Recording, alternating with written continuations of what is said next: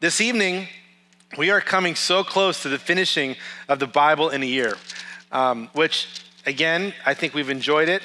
Uh, I have, I, I, I have enjoyed it personally, but I must admit, I haven't enjoyed it as much for Thursday nights, and just to be honest, because it's so predictable. and I like to kind of move with what's happening in culture and what's happening in our lives during the year. But we've kind of been like set on what we've been doing this whole year. It's been good. Um, I think a lot of us have enjoyed it, but I'm looking forward to finishing uh, the entirety of the Bible in the coming weeks ahead and uh, doing some new things this next year that I'm really excited to begin to roll out with you um, coming uh, after, probably starting after the first Thursday of January. So it's been good. It's been a good opportunity to go through scripture together and, and take that time. I think each and every year we should do that. We will be promoting another Bible in the Year plan for all of us this coming 2022, but we will not be doing it from the front as we have been um, in these consecutive Thursday nights. All that to say, though, I can't believe we're already in December. Can you, be, can you believe it's December? On so many levels, I cannot believe it. Can you believe it's so cold outside? I cannot believe how cold it is outside. Can you believe how quick it gets dark? Have I talked about that enough? I cannot believe how fast it gets dark. uh, this is the time of year that's it's in, it's an interesting time of year. but um, of course, we're coming to the close of the year, and so this is the time we're reflecting on what's happened during this year, and we will be having a service. The last Thursday night of December will be just before Christmas just before New Year's Eve. And so we'll be doing a special reflection time on the year for all of you. This evening, my challenge is to, I thought I could do a couple things. Uh, this evening, I thought, let me just pick a set of scriptures out out of one of the many letters you've been reading this week. Uh, this week, you would have been reading go, reading Go Eat Pork Chops. Do you know this? Go Eat Pork Chops. Galatians, Ephesians, Philippians, Colossians. Come on. Come on, church. That's the only four books in order that I know because the acronym Go Eat Pork Chops. Anyways, you've read Galatians, Ephesians, Philippians, and Colossians, and part of First Thessalonians. During this week, you'll be doing that. So I thought, okay, let me, I could just pull out one section of scripture and talk about it with all of you. But I thought instead, these four letters, in particular, in particularly Galatians, Ephesians, Philippians, and Colossians, have had scriptures in them that have really shaped my life, especially over the last 20 some odd years. And I thought, you know, instead of just pulling out a section of scripture and um, kind of working through that scripture together, I'm actually just going to go through the kind of key verses that have kind of shaped my life over the, these four different books. And it won't go very long, I promise you. Some of you are going, oh my gosh, we're going to be here all night long now. No, it won't go long. Like every Thursday night, I get up and tell Mark and say, hey, I'm probably going to go a little short tonight. I've been saying that for four years. I've never gone short once. But this one might go, I might go short with this one. But every time I say that, probably not. I will say this, just so you can be patient with me tonight. Uh, I got an eye exam today, and I found out that one of my eyes, my left eye, got significantly worse during the last year. And my brain is so smart that what it had done over the last year is it actually started using my stronger eye to see farther away and my other eye to see up close to read. I don't know what the bio thing, I don't know what it is. So it did this for me. So today, about two hours ago, they corrected my vision for far away. I'm like, I can see all of your faces. It's a, you are such beautiful people, back row. I, I didn't know I was not able to see as well.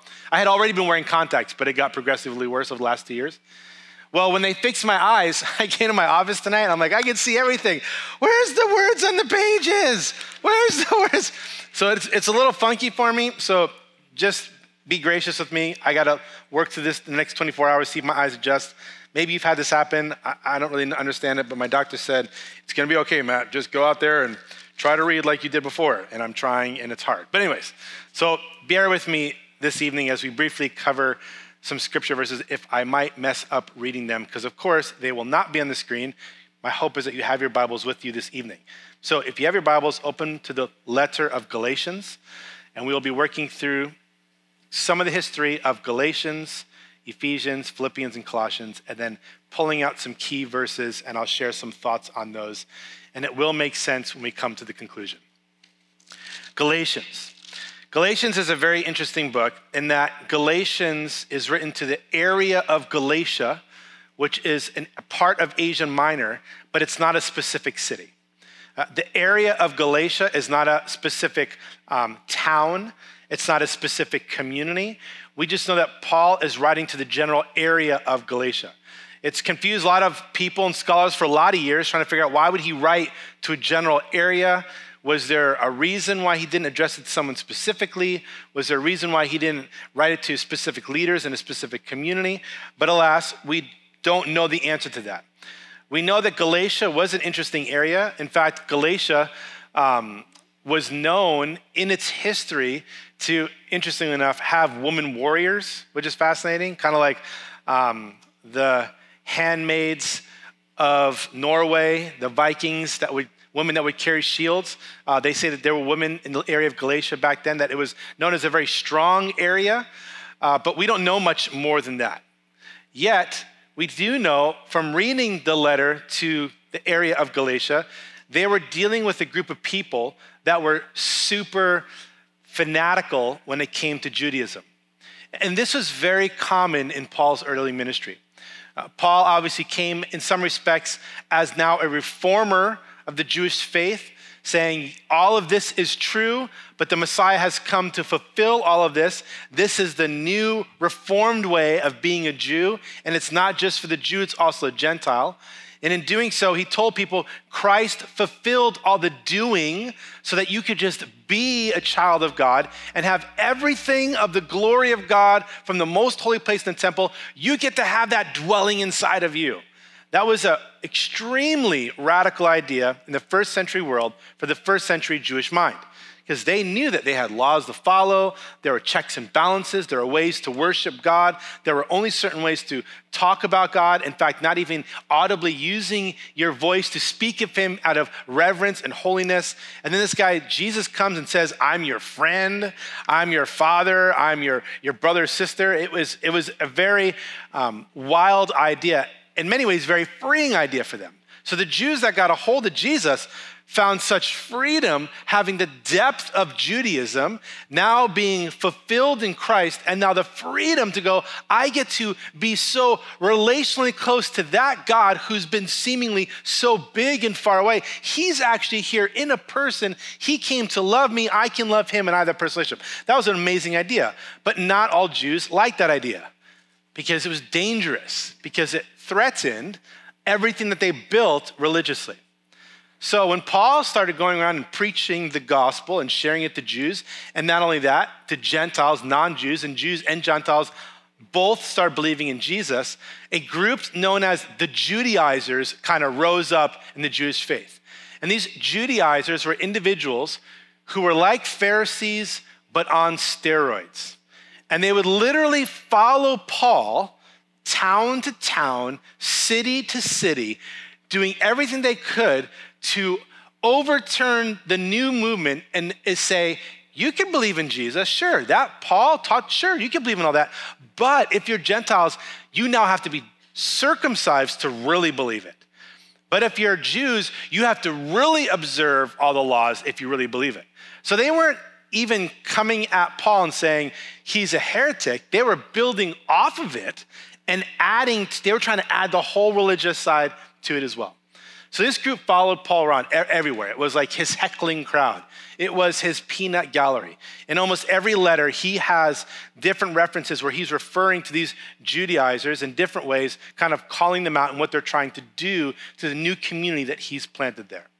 So, in the area of Galatia, Paul writes this letter to them to say, You need to understand that you do not need to go back to the way things were because there's a whole new life for you to live. And Paul eloquently, in this closing parts of his letter, kind of sums up his whole letter in Galatians chapter 5 in verse 1. And this is what he says. He said, So Christ has truly set us free. Now make sure that you stay free and don't get tied up again in slavery to the law. Other translations, you might have it. I like the way the NRSV puts it. It says, For freedom, Christ has set us free. Now, when we read that, we go, Of course, yeah, I, I, I know I'm free. And I know that I've accepted Jesus in my life. But then we have this like overbearing moral code sense inside of us that we begin to slowly start thinking that we have to do things to perform to actually have that freedom.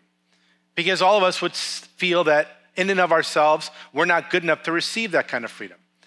And that's why Paul clarifies. He, he, he says, and that's why I like NRSV a little bit better in this translation. He goes, Not so that you do something for him has he set you free not so that you're more kind to other people, he has set you free.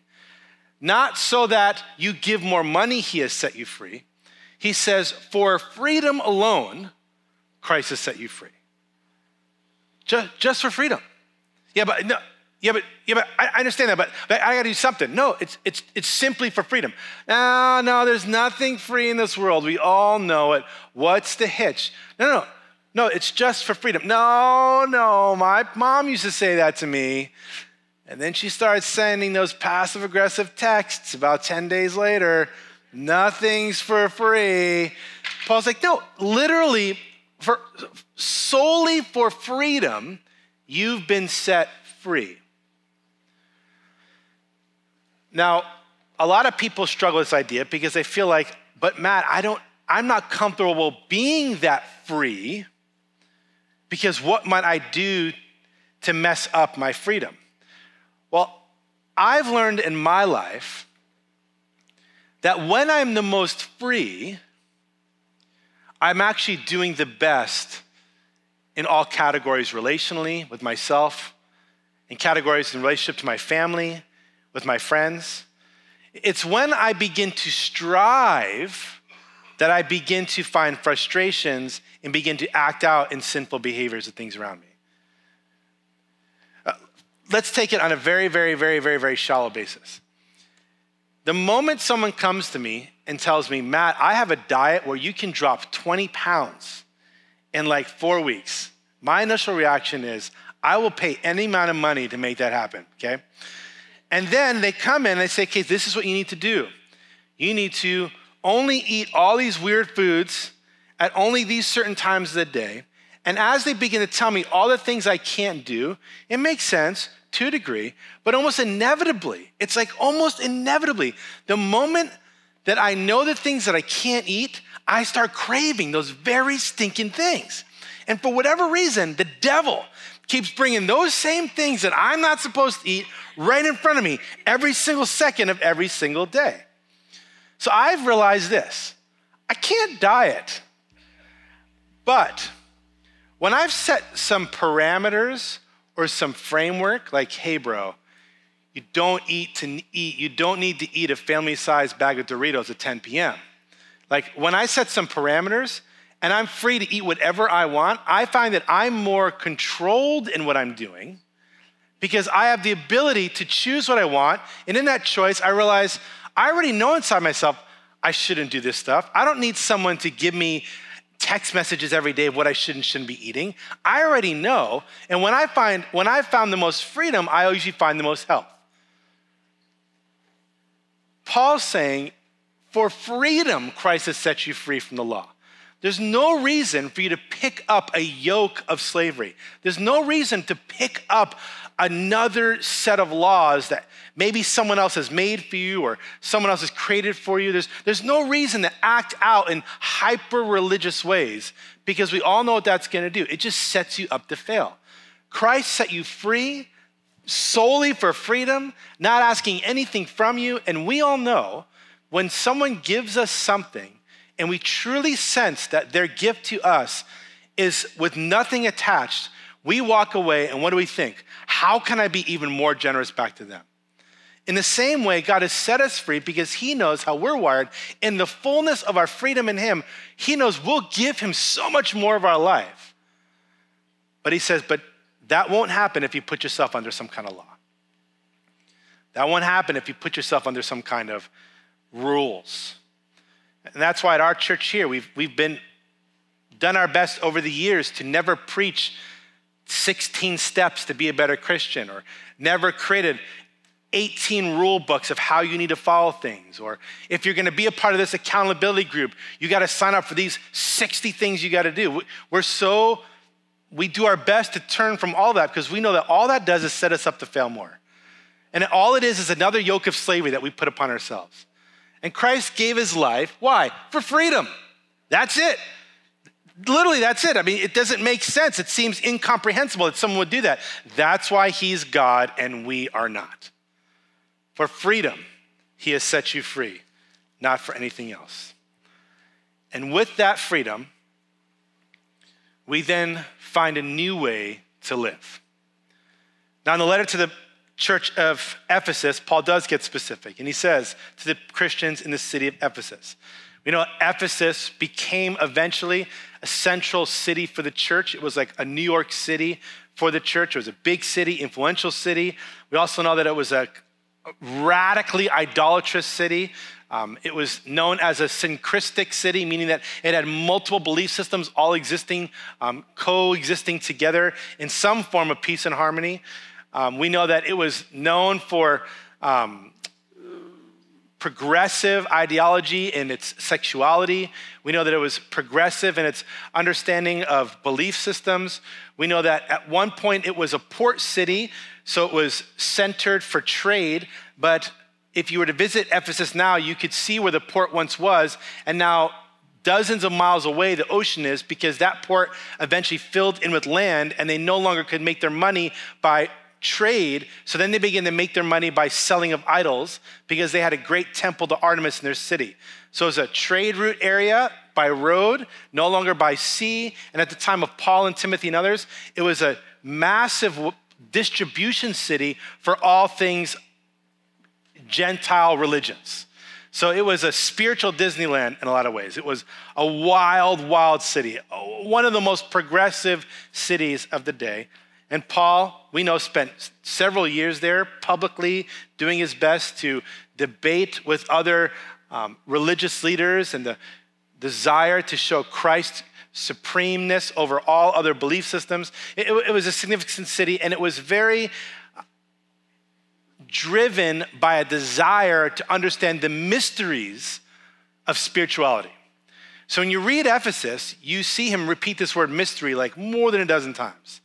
Um, you see him talk all about spiritual stuff. In fact, this is the letter we get the whole idea of this spiritual warfare. And he equates the different battle armor pieces to the spiritual armor we battle. And the reason why all these things are found in the book of the letter of Ephesus is because he's writing to people desiring an understanding of spirituality.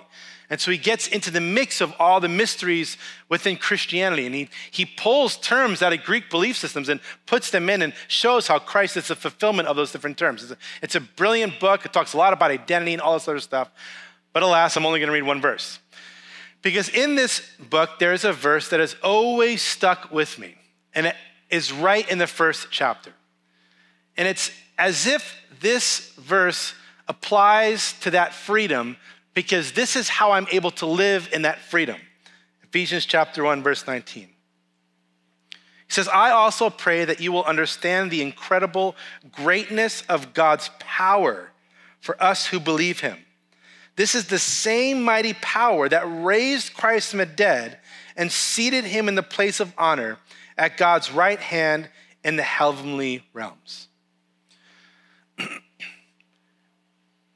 To believe in Jesus goes against the tide of everything that the world has taught you that reality is. Christ comes with an upside down kingdom. To be first, you have to be last. If someone smacks you, you turn the other cheek. If you die in this life, you only have a life to gain in eternal life. It is completely opposite of everything that the world says. And if you try to live this relationship and this life according to the way of Jesus, and do that within your own power, you will struggle every moment of every day. Because God knew that for you to live in a growing relationship with Him, that you wouldn't have a power within yourself, Paul says He's given you a new power to live this new life. That you're not meant to live this new life with your old power. You're not meant to live this new life of worshiping God and, and, and desiring to hear from Him and allowing Him to shape your decisions and allow Him to mold your relationships. If you try to live the way of Christ in your own power, you will burn out. That's religion. But the grace of Jesus is that in freedom that he calls you to live, he then gives you a new power to live this new relationship with him, to live this new way.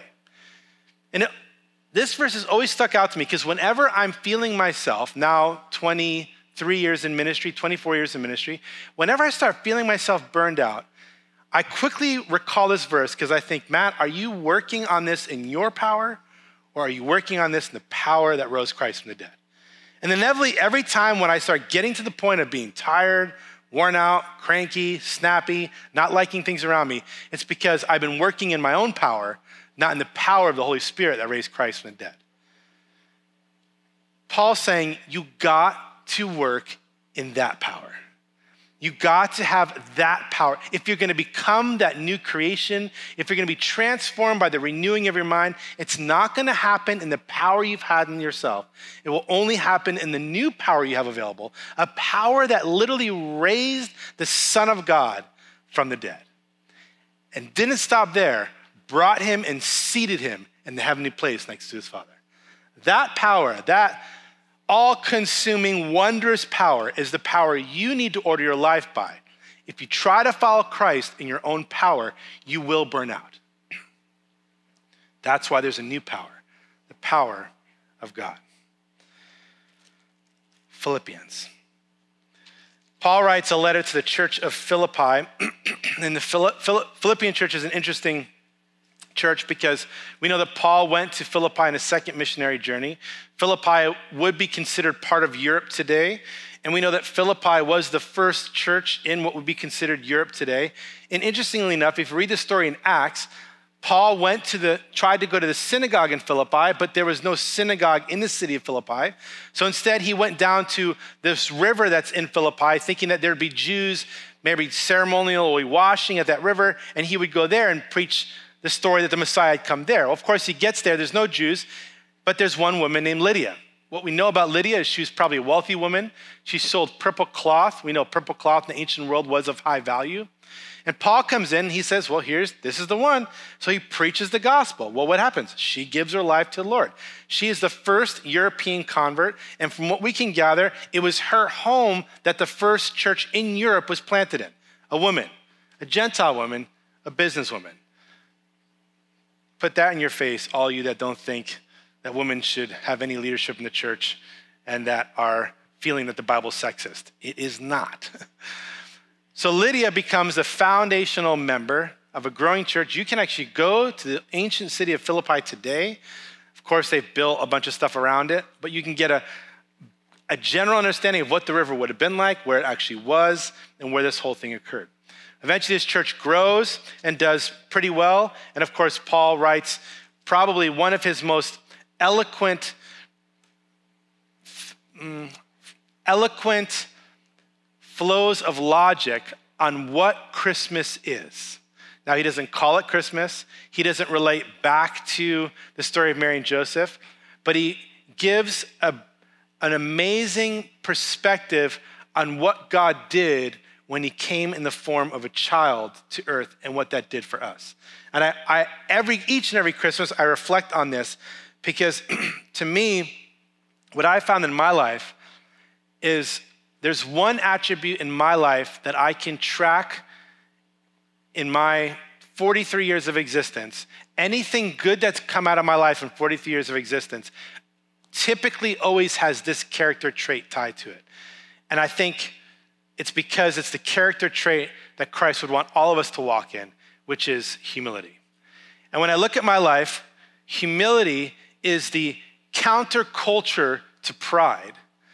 And we know it's pride that brought the enemy of the spirit world down to this earth and broke apart and started all this chaos we're in.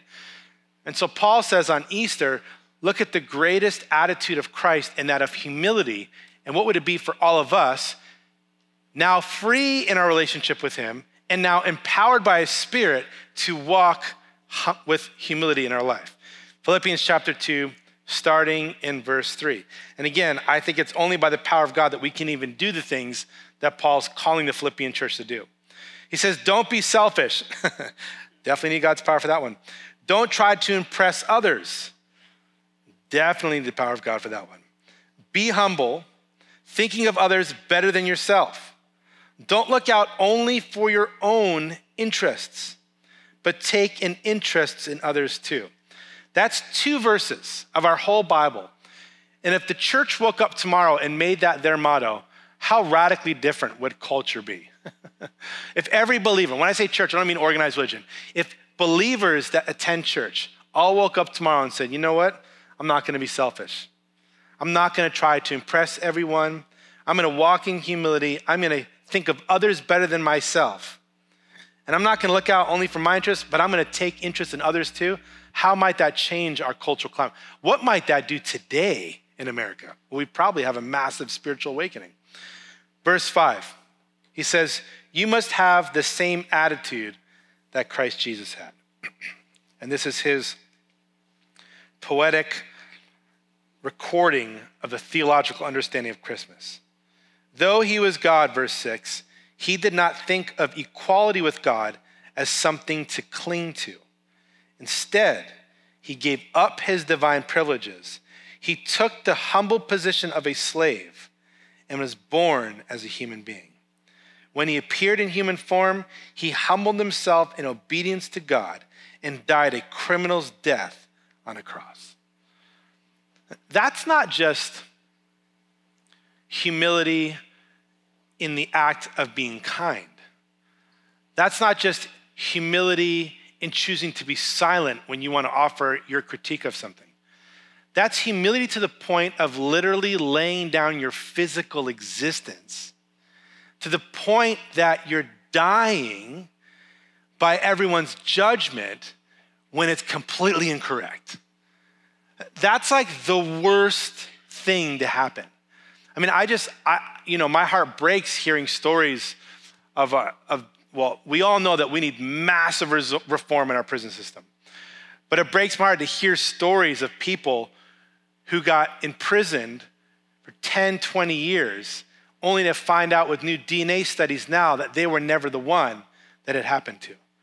Now, of course, we get to watch the story of them coming out, and we're so thankful that they came out, but how many were killed in states that had the death sentence and were innocent the entire time. Now, that was a misunderstanding. Imagine choosing to come down knowing that would happen, willingly laying down your life. This is the kind of stuff that makes me go, how could I consider any other belief system?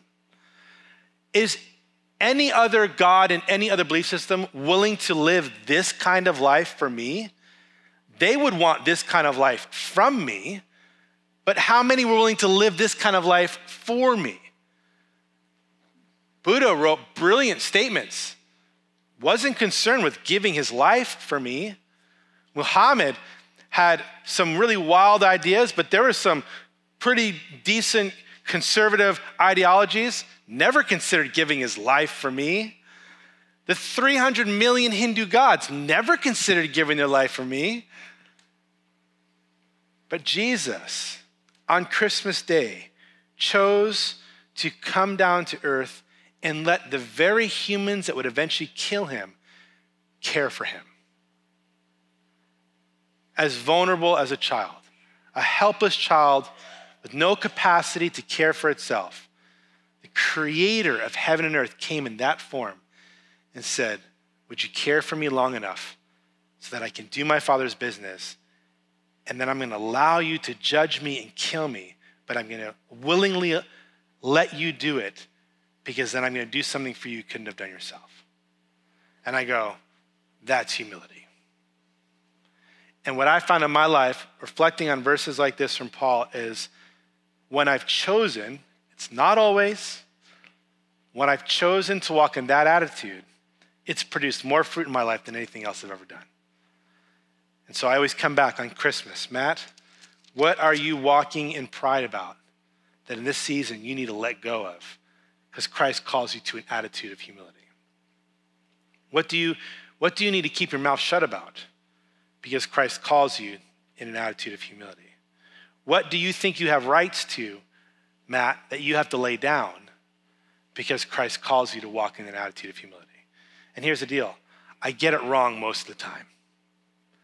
But there's a power that I can tap into to help me get it right some of the times. And my hope is each day I learn to get it right, maybe a little bit more, but ultimately I'll fully get to walk in the glory of what that attitude is when I get to be home with my Father and we're all worshiping Him. Colossians, almost done. The church of Colossae was an interesting church because at the church of Colossae, we have one letter to them, of course, Colossians, but we have another letter as well. And that letter is the letter of Philemon. How many of you have ever read the letter of Philemon? Philemon is one of the shortest books in the Bible, 26 verses. It's a, a relational conflict over a guy named Onesimus. The quick story is Paul, as we know, is in house arrest, and that's where he's written the letters of Ephesians, Philippians, and now Colossians. Galatians was not written during his time, Galatians was written earlier. But Ephesians, Philippians, and Colossians are all written while he's in a house imprisonment in Rome. You can read about in the end of the book of Acts. While he's there, he comes across a guy named Onesimus. Onesimus hangs out with him. Onesimus gets saved. Paul comes to find out Onesimus is a runaway slave. Paul finds out Onesimus is a runaway slave of his friend Philemon. So Paul writes a letter to Philemon and the church that meets in his house. That church is the church at Colossae. So Colossians and Philemon, if you go to the ending of each letter, you'll notice names are similar. That's because this community is in the city of Colossae. And Colossians has a, a, a, a number of things that we could go through, but we're going to kind of zone in on one that, again, is one that's one of my favorites, and that's in Colossians chapter 3, starting in verse 22. Now I'm going to read it, and I'll have to give some historical understanding of it, and then I'll tie it together.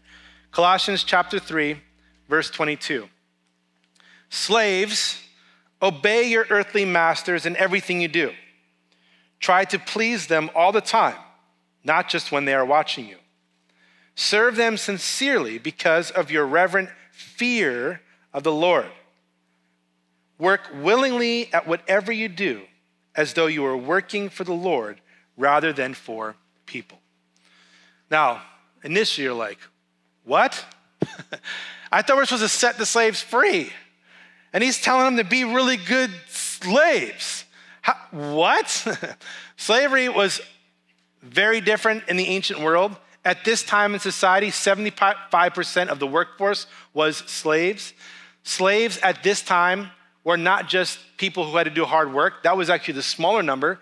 The larger number in the Greco Roman world, slaves were ship captains, slaves were um, handymen, slaves were even doctors, um, slaves could be nannies and you would willingly sell yourself into slavery on a contract, usually up to seven years, and that contract would be renewable depending upon your conditions of working. Slavery in the Greco Roman world primarily was a form of working. It wasn't what we think of in our wounds in America and what happened with slaves here. But, of course, with anything, there's always a percentage of hardship, a percentage of bad stuff that goes down, a percentage of terrible things and harsh working conditions. And we know that according to Roman law, if you were a slave and you ran away as a slave, then if you were caught, you were liable in the court of Roman law to pay your slave, your master back for every day that he lost of profits with your being gone. Not only that, if someone harbored you as a slave, a runaway slave, that person would also have to pay that person a lot of money back. And this is what's so fascinating about the letter of Philemon, because Philemon was a runaway slave. Whose home was he hanging out with? A guy named Paul. And Paul's writing a letter for Philemon to receive Onesimus back and essentially say, Would you not charge him for the time that he was gone? Long cultural story there. But here, what Paul's encouraging the slaves to do is to see their work as worship to the king. He's saying, You have seen your work as something you've wanted to not do. You've seen your work as a necessary evil. Paul's saying, You need to see your work as something that brings glory to God. In fact, he goes, Let me take it a step further. Work for your master as if your master is Jesus himself. How might you work different if you were working knowing Jesus was your boss versus working for a guy named Philemon? In many ways, Paul, in this very brief two verse um, idea, is giving us an understanding of what our role is when we go to work. That our work is not a necessary evil to get by, but our work is meant to be something we do as worship to the Lord. And it doesn't matter what kind of work it is. It even could be a positive slave master scenario, or it could be a horrendous slave master scenario. And God would say, not difficult, I'm sure, in injustice slave master scenarios, God wants to step in and bring justice. But in general, God's saying the attitude that should be in your heart, regardless of what the scenario is, is how can I work for this master as though I'm working unto the Lord? And that is a new way of living. And that is a new way of living that I would never be able to do relying solely on my own human power. The only way that I would have the capacity to do that is if I relied on the power that raised Christ from the dead. And the only way that I could get that power is if I truly walk in the freedom that Christ gave me when he gave his life for me. And how did he do that? By coming as a child in a manger, letting the very people that would raise him also let them kill him so he could beat death for each one of us and give us a new way to be living today. So, my encouragement to you, church, is as you finish up this New Testament, I've run out of time, do your best to, yes, read through in the closing bits of these short letters, but take time to pause and realize the implications of the things that Paul's saying. Because you might find in your life, in your reading, in the closing of this year, God might, wanting, might be wanting to speak to you some eternal truths that mark your hearts that you'll carry with you as I've carried these four verses with me in my 20 years of ministry. Let's pray. Father, I thank you that we have a new life to live, that we do in freedom to you and empowered by you. I thank you, Lord, that you are concerned with the gravity of our freedom. You are concerned with the gravity of our salvation, but you're also concerned by the gravity of showing up in the workplace. That, Lord, you don't provide a belief system that's meant to keep us in the clouds. You provide a belief system that's also meant to get us down in the dirt and be dirty. Father, I pray as, as we close this year that we would realize that the gifts you have for us are truly gifts with no strings attached. And that we have a new life that we get to walk in you. But the moment we put on yokes of doing, the moment we put on lists and guidelines, we begin to step out of that freedom. But it's only because we've done it to ourselves. Lord, may we throw that yoke of slavery off. May we truly walk in the freedom that you've given us. May we truly walk a new life empowered by your spirit that raised Christ from the dead a life that was born in a manger that was we're celebrating today, yet chose to give its life for us. So that, Father, we could even see our work turn into worship to you. Thank you, Father, for the gift you've given us in this season. May we enjoy all the parties and all the gift giving and gift receiving, but may us never look over the deeper meaning behind all of it. That we receive the greatest gift ever given, and that gift continues to give to us each and every day. Thank you, Jesus. In your name we pray. Amen.